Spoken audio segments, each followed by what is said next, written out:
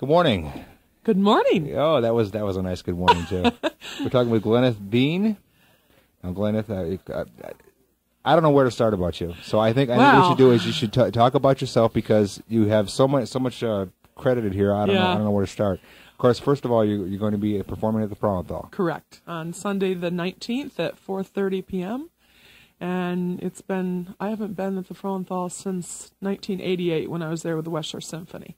Okay. I've returned a couple times. I did an AIDS benefit in '92, I think.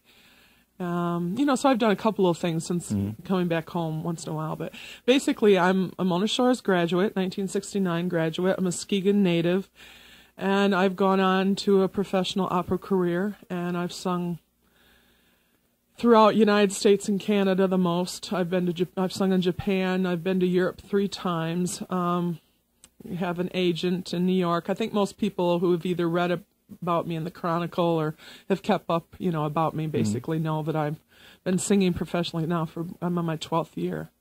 And, and, and so, they're, they're, all proud too. You see, oh, I, very I'm, proud. I'm, I'm excited because we, we talked a little earlier, and you said that you, you know Leonard Bernstein. Oh well, he, or you knew Leonard the Bernstein. late Leonard Bernstein. Yeah. Yes, um, in fact, it was my second professional job in 1985. I had debuted in Chicago in '84, mm-hmm. and it was you know right out of the course. I did a role and it was on PBS, and I went right back to working at the hospital after it because oh, really? I had no agent or nothing, so it was just kind of a fluke thing. And and someone had heard me or saw it on TV, and Leonard Bernstein had asked for me to fly into New York to audition. And they called me at the doctor's office. I remember answering the phone. Hi, this is so and so from New York City. Um, you know, could you come and uh, sing for Leonard Bernstein? I'm going, yeah, yeah. doctor, can I have the day off? You know, and they go, of course. So I flew into New York and uh, sang for Lenny at his home, the Dakota, right where John Lennon was shot. You yeah. call him Lenny too. Well, of so, course I call him Lenny now, yeah. but of course when I first met him, Mr. Bernstein. Yeah, I remember there were like 21 singers in his library, and I'm in walks this little man with jeans on, a little oh, really? cigarette, you know, and I was like, oh, there he is, you know, and and here, so there was 21 singers from all over that he had, you know, asked to hear, mm-hmm. and I remember he went around, shook his hand, shook everybody's hand, and I remember he, no lie, he got to me, and we just hit it off for some reason. And he, I remember he kind of held onto my hand. He goes, I want to hear her first. And I went, oh gosh, you know, pressure, pressure. Here's this little Muskegon girl, you know. And I remember he spent 45 minutes with me. I did three arias and I did one piece that he was hiring me for, which happens to be one of his favorite pieces he'd ever written. And when I got done singing it, he had tears in his eyes and said he'd never heard it sung so beautifully. Wow. And I just sat there. I almost flew home without the plane. You know, right. I was like, right. this Leonard Bernstein. And so we worked together in Rome and Vienna, and then we toured the United States, and we did a White House July 4th broadcast on PBS. Then I worked with him again twice. I got to know him personally because there was only mm-hmm. six soloists on this tour, and the soprano and mezzo had their husbands, and I'm divorced and stuff. So I sat next to Lenny every night at the party, and sometimes the parties went on until four in the morning. so we got to know each other quite well, actually. Okay. So I met his kids and his mom, and now see, all I know of Leonard Bernstein is just every every day or every was it every Friday? I think at, at school we used to watch the oh, yeah. the, the, the old uh, young, 16 millimeter yeah. things. Young people's concerts. Yeah, yeah, yeah, yeah, exactly. Oh yeah, and he loved people. Yeah. He lo- you could just tell that though. He was so gifted and he loved people. Mm-hmm. And that's what music's all about anyway. You know, what would this world be without music, you and, know? And of course, you're going to be singing from one of uh, one of my oh, favorite definitely. favorite Broadway Mm-hmm. you know, musicals, a West, West Side, Story. Story. So. When he had passed on, um, I was performing, in fact, that night in Chicago at the Lyric, and we dedicated the whole performance to Lenny. And I told his kids, every concert I do, I'm always going to do something, you know, mm-hmm. of his, always and we he can't, just can't go wrong with that either. Yeah, he believed in me before I believed in myself, and I will. He'll live on through his music. Thank God. Mm-hmm. Yeah, I agree. I agree. Yeah.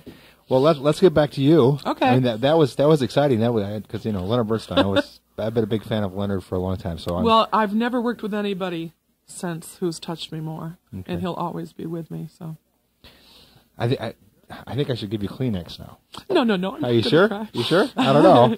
no. You're getting close there. I do miss them. yeah. Um, as far as the program goes, you've, you've got some, some very difficult uh, pieces here that you that can't, I can't pronounce. even pronounce. Yeah, yeah. well, I'm doing three separate uh, part, so with two intermissions. Okay. The first section is going to be a couple art songs, which people will know the Schubert's Ave Maria, of course. Right. And then I'm only doing four arias, and I'm going to talk a little bit about opera and about commercials and television and movies now that are bringing opera on, and then I do four little arias. Then the second half's going to be mainly spirituals and some sacred. Then the third half's going to be all Broadway pieces, okay. which will be fun. Which is the stuff I can pronounce. yeah, you can pronounce yeah, those. yeah. Porgy and Bess, West Side Story. Okay, you got you're gonna be do, doing tonight from there. Good song. Yeah. Okay. Uh, um, Tell me a little bit about your past, as far as how, no. Oh Lord! Well, I know, I know. Well, not not that past. People I, out there know too much about me in this town. That's my problem. well, you, you, you, know Sherry Kimball, our station station oh, manager. Sure. So that's See, scary enough in itself. Yeah, yeah, I went to yeah. Shores and um, took choir. So from ninth to 12th grade. And we had Mr. Larry Gray at that time. And we went to Europe. That was the first choir that went to Europe from Mona Shores in 1969. Okay. I remember we sold um, subscriptions to the Norton Examiner because that was a new magazine oh, okay. at the time. Right. But I was like, you know, in the talent shows in high school, I was the class singer of 69 and in the first Allegros, which of course now everybody knows the Allegros, you know, and the Pop mm. Goes the Sailors, all the things that Shores does. So I was kind of like in the first Allegros, the first choir that went to Europe, then went on to college. And well, what do you like to do? Well, I like to sing. Okay, I'll major in music. Well, I didn't know you had to take music history, music theory, right. all that. Kind of dropped out. oh, really? yeah, sang in a rock group. You know, the '60s. What can I say? Well, you know what was that like as far as singing in a rock group? I mean, was that was that quite a bit? Well, I just from... loved to sing. I didn't yeah. care what kind of music. I just loved to sing. But God blessed me with this huge voice, which mm-hmm. I don't need a microphone, and I so I've kind of gone on into the field, you know, of opera and singing with concerts with what you know with symphonies, right. and I've done a couple Broadway. I did Girl Crazy in Lincoln Center, which is Ethel Merman's part, okay. and um, the I've got rhythm, that one, you know. Mm-hmm.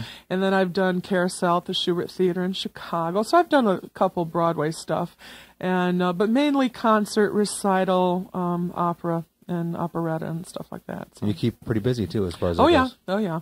I'm in kind of a transition right now. I'm with Luciano Pavarotti's agent, who's the big tenor, which oh, most people that, I think that, people know him. Yeah, that that itself says, says yes, a whole yeah. lot. I mean, with well, Pavarotti. I just had signed with him a couple years ago, and I just I was with Columbia Artist Management, and finally all my contracts are done with them, and I'm in a transition right now because I'm moving up. Contraltos mainly do all the small, the maids, the mothers, the witches, the nurses, you know, because we're the lower voice like a bass, you know. Okay. And I've done a lot of that now at the Met. I was there, you know, six years at the Met. Have done like 12 radio broadcasts live from the Met and seven times on PBS, you know, television now. And I'm in a big transition now to try to go up more international and moving up to more major roles, the bigger parts. So this is a real big step, probably the biggest step, but I want to go for it. You know, try to get on CDs and go. go for it now. So, yeah, so it's kind of a big step, and this is mainly why I'm coming back home to hopefully raise a little money. It's hard for me to ask for help at home because I've never really charged on anything I've ever done, but this is a big step for me, and you know, it's just I got to start to almost start over and re-audition for all the conductors with bigger roles and a new repertoire, you know, but, and stuff. But, so, but, but, you got a great resume. Oh, I've done. Oh, yeah. and people know who I am in the opera world and stuff, you know. But it's yeah. like now to move up to the more major, the stardom part of it. You know, these overnight successes can take 15 years, you right. know, for people. I'm in my 12th year right now. These next two or three years are very important. So. But but but you wouldn't trade it in for the world. Better than a nine to five job. No, no I go, oh, I sleep till noon, you know, rehearse in the afternoon, perform at night, parties till the two or three in the morning. Yeah, the go. truth comes out. I love to sing and it's a gift, you know, and I love to give you know the gift of voice and like i said you know without music i just can't imagine the world it makes people feel better and i love to sing too i've always loved ever since i was like four years old you know i've just always music's been such a big part of my soul. So now, when you were, when you were in school though, and, and you had this tremendous voice, mm-hmm. what what did the teachers say to you? I mean, what do they? Shh. You're too loud, Bean. oh, really? You know? oh, yes. Yeah. um, I've always had a good size voice, and as you can tell, I'm a not a petite woman, but but I was kind of born with the. I have that volume anyway, but. Uh, you know, I've had to really work the artistry and take Okay. the lessons and coach, and especially because I sing in German, Russian, French, Italian. You know, I've had to really learn a Right. lot, you know, besides just the art of singing. But um, my voice is maturing so much right now. The contralto voice is the lowest woman's voice. And it's probably, the, you know, sopranos usually get started in their early 20s and can peter out in their 50s. Well, I am just starting to get to my prime now. And the oldest contralto sang at the Met, 72 years old. Oh, really? So, I mean, I'm just kind of getting going right now, which is a very exciting time vocally. But yeah, I played clarinet. I remember fourth grade to eighth grade with Jack Cook, and he's always going, "I'm so glad you quit playing the clarinet." He says it to me now, you know, and I'm like, "Yeah, I did squeak a few times on the clarinet." But uh, obviously, being at Shores and stuff was a big thing. Learning all that music and choir, and going to Europe. You know, when I was 17, Right. I went. Most of the kids come back from Europe going, "Mommy, Daddy, I'm glad to be home." I could have done laundry and hopped right back to Europe. I mean, I I knew I loved then to travel and sing.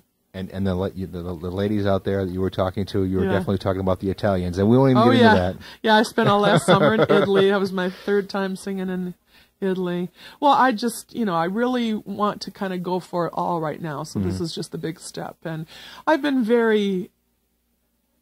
I'm proud to be from Muskegon, but I'm very touched by the love and support from people here in the community also that hmm. are proud of me, you know, and I want to make people proud and, you know, to say I'm from Muskegon and everything. So I've been very touched by all the support from people. And it's going to be a full house, right?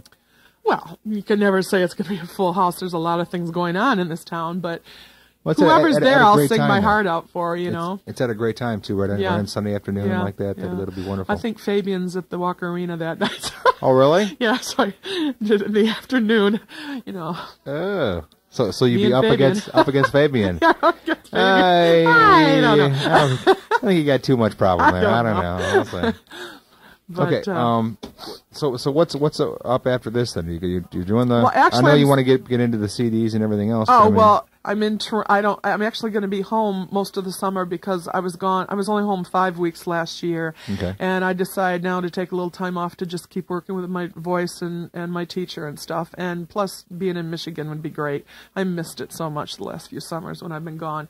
So I'm taking a little time off this summer. I don't have to be in Toronto till August 20th. Okay. So I start out going to Toronto, and then I'm in Washington D.C., and then I'm in Palm Beach, and I just got asked actually to do something in Grand Rapids. I do you know concerts and stuff around. Uh, the big thing for me now is I want to try to do a European audition tour. Okay. Which would be a good two month time to be over there. Start auditioning for just all the conductors again. So the big thing for me now is in between jobs is I'm going to be auditioning like crazy again with all this new repertoire and and stuff. So in, I'm not really starting over. People say, "Oh yeah, we'll hear her again," you know. I mean, so people know me, but now it's just going to be with def- different repertoire, which is bigger and more major stuff. So. Okay.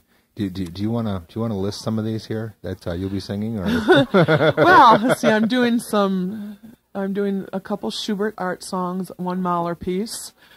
Uh, one probably popular piece that they know is the Mon Coeur s'ouvre ta voix, which is um, in French from Samson and Delilah. at least I knew which one you were saying. I could, I could read along here. and then I'm doing one Verdi piece, which is a real exciting piece, and a Tchaikovsky piece, and a Puccini, which of course everybody loves Puccini.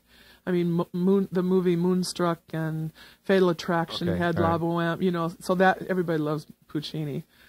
But uh, yeah, I'm real excited. I'm doing some new stuff on it, and so it's always fun to come home anyway, Okay. sing at home. And you, you, you got to hang out for the summers. The summers are great here. oh, so summer, I'm summer celebrations coming. I mean, you Yeah, can I'm already telling people I'm home, so they're getting me. Can I just sing at our church? Can you do this? I'm going okay, Yeah. but I love to do that. It's They'll always great to see people too. So, They'll keep you busy. I'm sure Sherry's already set down a time that she can come Yeah. and ask you over for dinner. well, I'm going to go and talk to the kids at Shores next week, Okay. uh, the music students. So right. I always try to do that when I'm home too. Did know. you? Of course, you probably seen Mr. Holland's opus. Did you? Did you Oh, okay. I wanted who to was call your Who was your Mr. Holland? Mr. Gray? Okay. Mr. Gray. In fact, three years ago, um, I did a big choir reunion from 1969 when we went to Europe. Okay. I was home for the month of July and August that year, and I sent all the invitations out, and some of those people hadn't sung in 25 years. Oh. And we all got the music out, and it was just like we all sang together. It was just really magical. Oh, really? And I had about 70 people show up on the Friday night picnic, and then we had about another 60 on the Sunday, and they were different people. And it was really magical. And of course, it was very special for Mr. Gray, too, because it was a big reunion for our first time to Europe. So Okay. it was kind of neat. Right, But he all was, right. yes, my, that was a beautiful movie. It Beautiful was. It was a great movie. It's kind of sad that the arts are kind of cutting stuff back a Mm-hmm. little bit now, too, because, like I said, the world without music and the arts, I mean, And talk radio. I and you talk know. radio, of course, talk radio. And uh, we'll play your CD, oh, wouldn't that even though it is talk radio. I mean, we will, you know, we can we can we can throw it on. there. Well, I appreciate your support too. Thank you very, very much. Thank you.